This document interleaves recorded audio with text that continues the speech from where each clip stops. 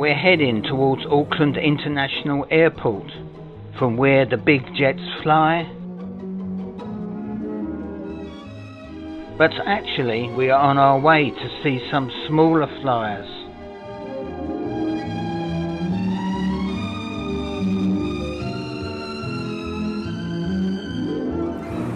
There's obviously more than butterflies here.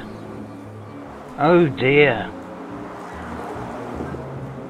It's very windy, so let's get inside.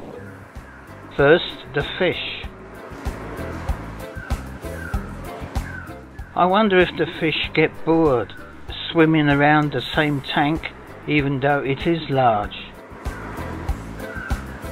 Now into the butterfly house where we are surrounded by butterflies. Even on our clothing. But there aren't only butterflies here, they have some unexpected neighbours. Eastern water dragon. Do you see it? There it is. American alligators.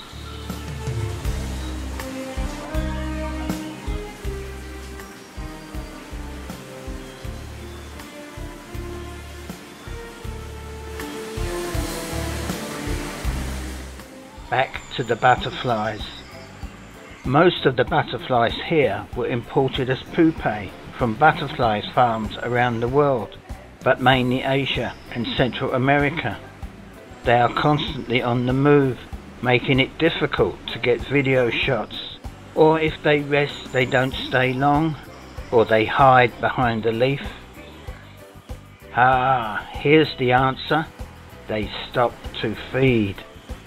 These are clipper butterflies. They have a liquid diet. Butterflies taste with their feet, but use their proboscis to drink nectar or other liquids. Beautiful blue butterflies can be seen fluttering around, but even when they settle to feed, they rarely open their wings long enough for us to view their beauty. Here's one on the left, a blue morpho butterfly.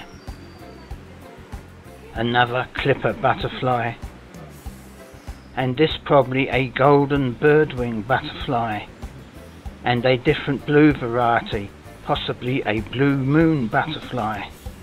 Time to leave the butterfly house and try not to take butterflies with us. Moa.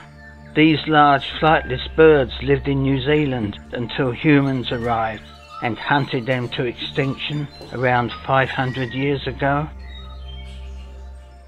Quiet please, as we are now in the Kiwi house under an artificial nighttime starry sky, as Kiwi are nocturnal. Two northern brown Kiwi live here in separate enclosures and as our eyes acclimatise, will we see one?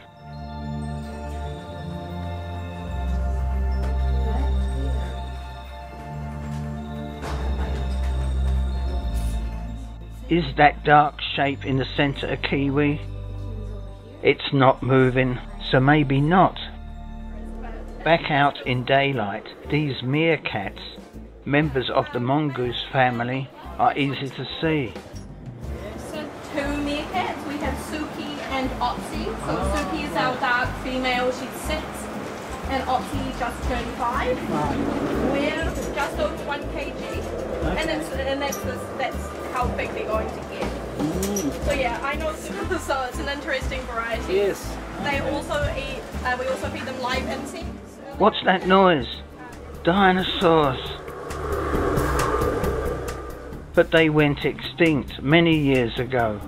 Don't worry, these are only life-size animated sculptures and so realistic.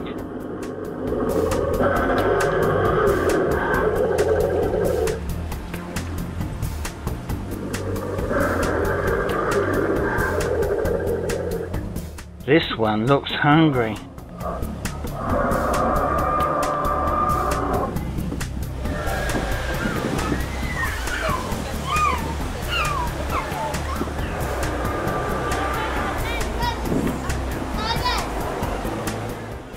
We need to get away, so let's grab a train ride. Two circuits of the park, including through a couple of tunnels.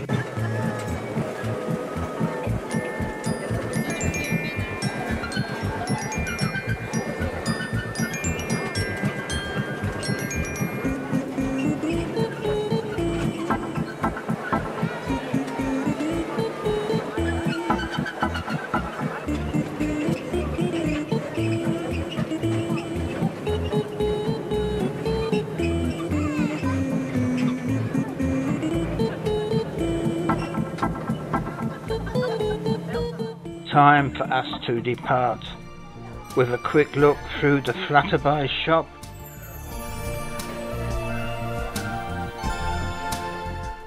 Soft cuddly toys and not so cuddly ones and the elusive blue butterfly. We didn't get to see all the creatures but it's been an enjoyable, interesting afternoon.